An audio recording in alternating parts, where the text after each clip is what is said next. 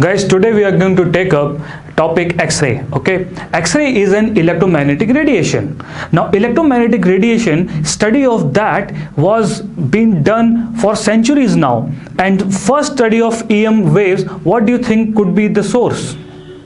Sunlight is the source of that right? So people have started understanding about em waves by analyzing what are the wavelengths in the sunlight. So visible spectrum was very easy to find right? And then due to the phenomena of radioactivity and things like those they came to know about gamma rays as well. And simultaneously there was a research going on wherein uh, scientist named Hertz was conducting several experiments to with uh, with electric field and magnetic field in order to generate some sort of wave. So he came up with radiation called radio waves which we are using in Wi-Fi devices. Okay it was William Röntgen who was doing some experiment with uh, with the gases and discharge of uh, you know waves from the gases. He has accidentally found out a, a, wavelength which was never you know observed. And this particular uh, uh EM waves of the of this wavelength is called X-ray okay? Because it was strange and William was not uh, aware of this so he started calling it X-ray all right and he also got a Nobel Prize for it.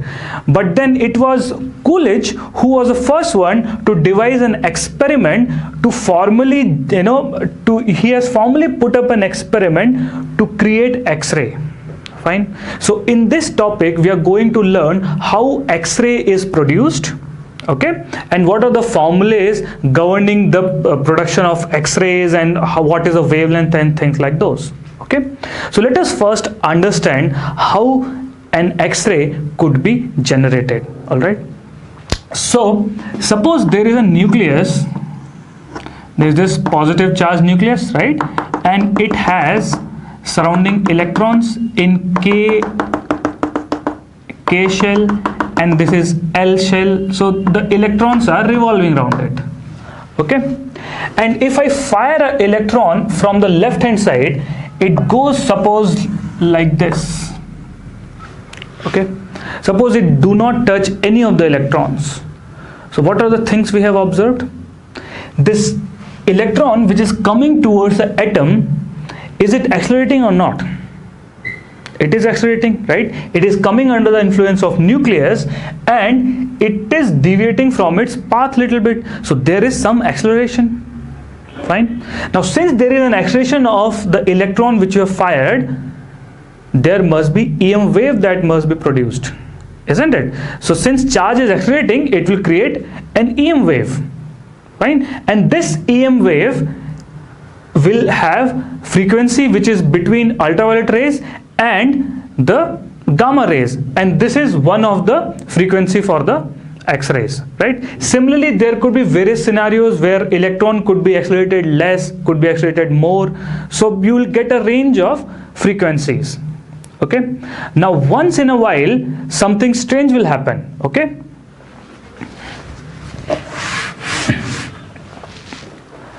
So once in a while what will happen is this electron that is coming from outside may hit an electron which is revolving around.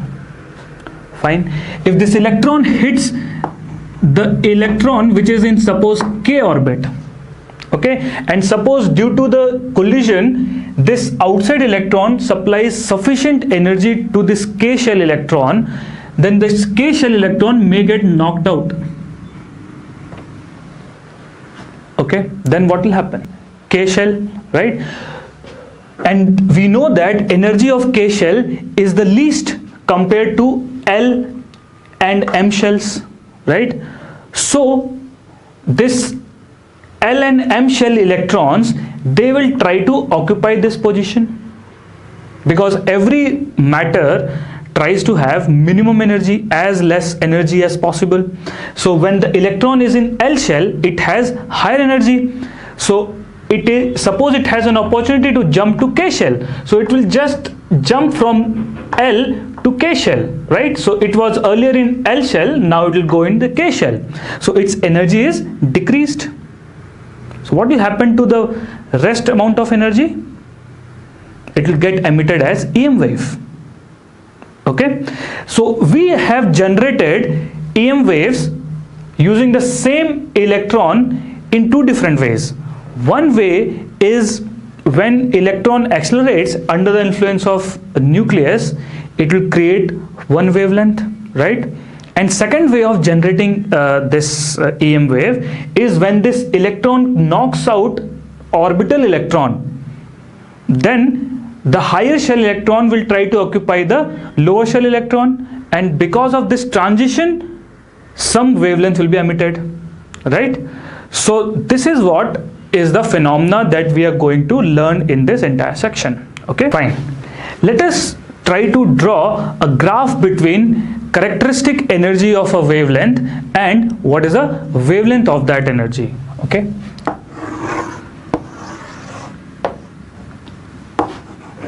Suppose this is E lambda. E lambda is nothing but total spectral energy for a particular wavelength. Okay and this is suppose wavelength. Fine. So what kind of uh, graph you will observe? You will observe continuous graph or discontinuous graph? It will be a continuous graph right? Because there are several ways there are infinite way number of ways electron could be accelerated and every type of acceleration will emit a particular type of wavelength okay? So this is what is observed.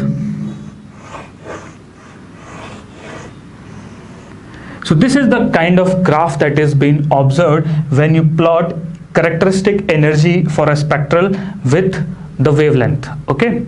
Now let us try to understand what is happening here. In this case you will have some lambda minimum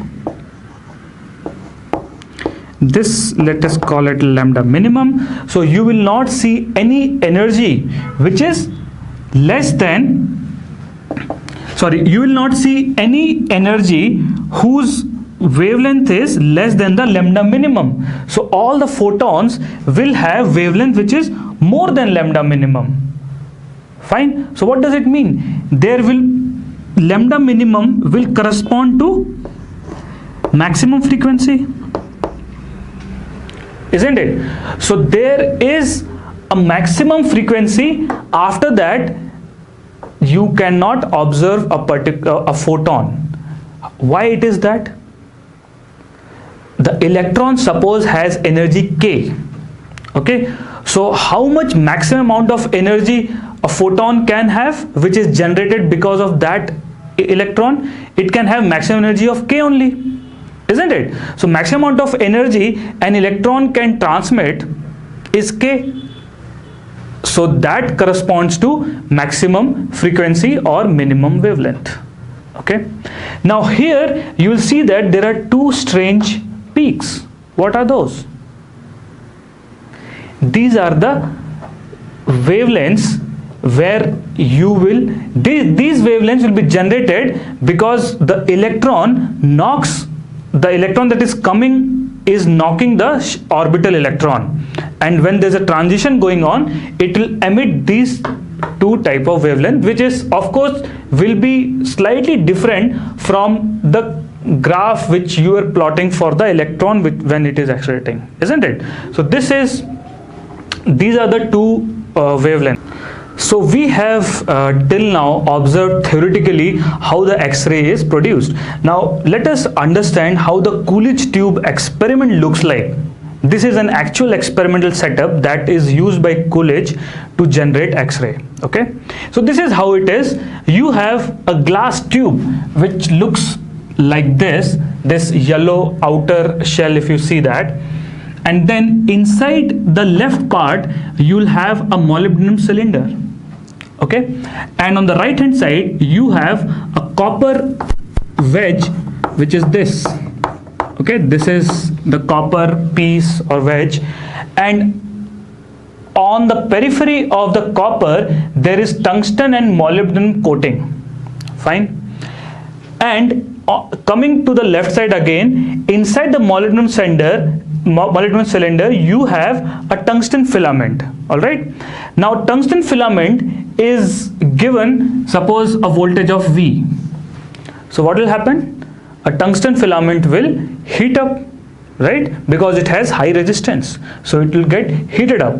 And because of the heat that is generated the electron in inside the tungsten will may get sufficient energy to come out of the metal. Okay? So this is called thermionic emission. We have learned photoelectric emission right? So in photoelectric emission when photon falls on the metal surface it absorbs the sufficient energy and comes out of the metal right? Instead of photoelectric emission or the energy given by the radiation we are giving energy due to the heat itself so when this filament gets heated up the electron from the filament will come out. Okay?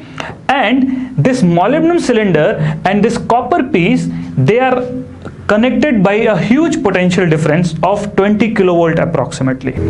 So this is a small change in the figure. Earlier we have taken copper to be positive more positive potential than molybdenum. Now we have switched the polarity. So what Coolidge have done he has taken uh, copper to be at very high potential compared to molybdenum cylinder by connecting a huge potential across these two. So when electron that comes out of filament it experience a repulsion from all lateral sides of the molybdenum cylinder because it is in negative potential. So electron will converge to a narrow stream. It looks like a pencil uh, nib. Okay? So it becomes a narrow this thing and it hits the tungsten tungsten or molybdenum coating. So because of that what will happen? The same thing which you have just learned that suppose this is tungsten only that coating. So tungsten will have nucleus and it will have electron in KLM shells. So electron which is coming out of this tungsten filament will come and pass through the atoms of tungsten coating okay? And after that due to the acceleration of the electron there might be some EM waves that is coming out of the tungsten coating okay? So this is how the entire experiment is conducted okay? Okay now we are going to see how mathematically we can analyze the whole situation okay? So now if an electron that comes out of filament experience a potential difference of V between molybdenum cylinder and copper. So how much kinetic energy the electron will have? The maximum kinetic energy that is available to the electron is charge of electron which is E times potential difference which is suppose V okay? So E times V is the maximum kinetic energy that is available to the electron okay? And suppose if you want to find out what is the maximum frequency or minimum wavelength for which will be produced due to this electron then how much maximum energy this electron can give to create EM wave maximum energy the electron can give is whatever energy is available to the electron itself which is E times V. So suppose entire energy which is E times V gets converted into energy of a photon which is h mu or hc by lambda then I can get an expression for lambda minimum. Okay? So this is the expression for lambda minimum. Now this comes in a graph. If you see this this is a graph and this is the wavelength right? So this is what the lambda minimum is. Fine. Now we are going to do what we are going to do is we want to get what are the wavelengths of these peaks? Okay? These peaks are called characteristic x-rays because they are the characteristic of what is a material here isn't it? The uh, this this belongs to the material because the k shell of every nucleus will have different energy right? So if electron jumps from l to k okay then there will be energy difference corresponding to what material it is.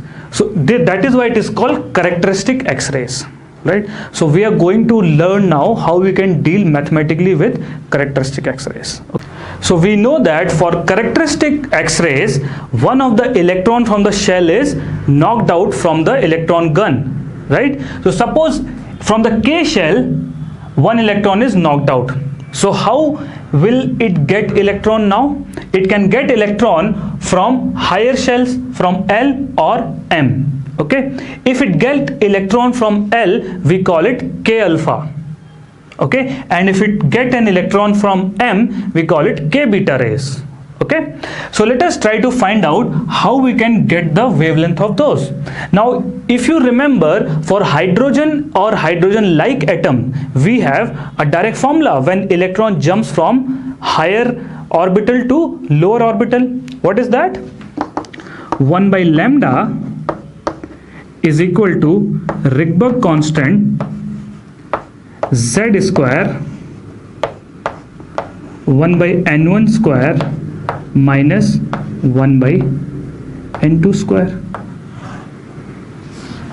Right? This is the formula for the hydrogen like atom. What is hydrogen like atom? In a hydrogen like atom we have only one electron. Suppose you take helium okay? You knock out all its uh, sorry you knock, knock out all its electron other than just one electron. So helium plus is a hydrogen like atom. Lithium 2 plus is also hydrogen like atom. But when i take this experiment this tungsten and molybdenum they are not hydrogen like atoms right? They can have multiple electrons. Fine? So if you have learned already about uh, screening effect, you may know that the atomic number due to the screening effect behaves as if it is less than the actual atomic number. Okay? So there is some screening factor over here. So this formula for for a generic scenario where it is not a hydrogen like atom looks something like this. 1 by lambda is Rydberg constant z minus b whole square 1 by n1 square minus 1 by n2 square. Fine. So b is the screening constant of a material. All right? So let us first try to get what is the wavelength for k alpha. So for k alpha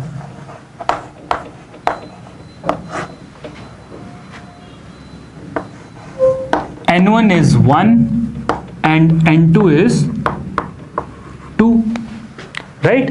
And you should remember that for k shell generally value of b is 1 okay? So just uh, write it down. For k shell b is approximately equal to 1 the screening factor is 1 so for k alpha radiation we have 1 by lambda equals to Rydberg constant z minus 1 whole square into 1 by 1 minus 1 by 2 square. Right? So if I simplify it further you get Rydberg constant z minus 1 whole square. This is 3 by 4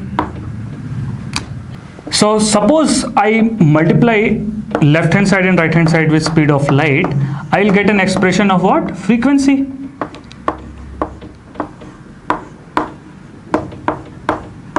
Right? This is my frequency. Right? So frequency is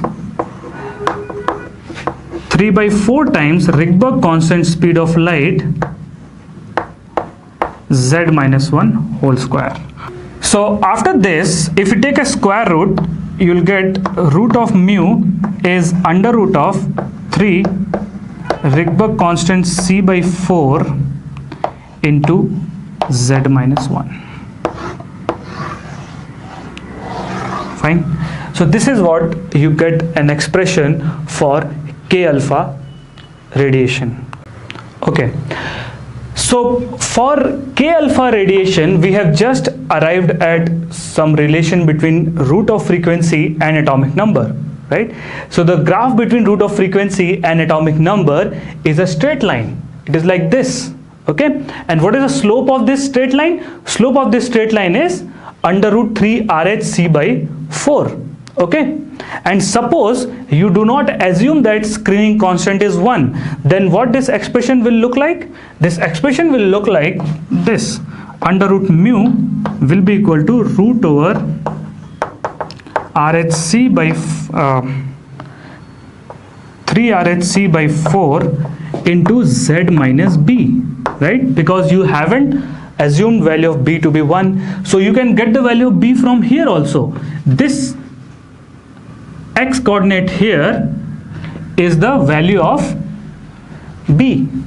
Okay where root of frequency becomes 0 root of frequency will become 0 when atomic number is equal to b. Okay? So this is how you can deal with k alpha radiation. What about k beta? For k beta value of n1 is 1 and n2 is 3 right and everything will follow like this only. And there could be other characteristic uh, wavelengths also. For example electron rather than getting knocked out from k shell get knocked out from l shell. Then what is the value of n1 n1 will be now 2 and electron will jump to that second orbit from n2 equal to 3 4 5 like that okay? So when electron is jumping to L shell from higher shell suppose it jumps from M to L. It is called L alpha. And N to L it is called L beta. Okay? These are just naming convention. So this is K alpha and we know K beta is when it jumps from M to L right? So this is how you deal with entire uh, x-ray topic and i hope uh, you will be able to solve questions on your own. And we are anyway going to take a few example in the later uh, video wherein you can understand how we can use whatever we have learned in a form of question okay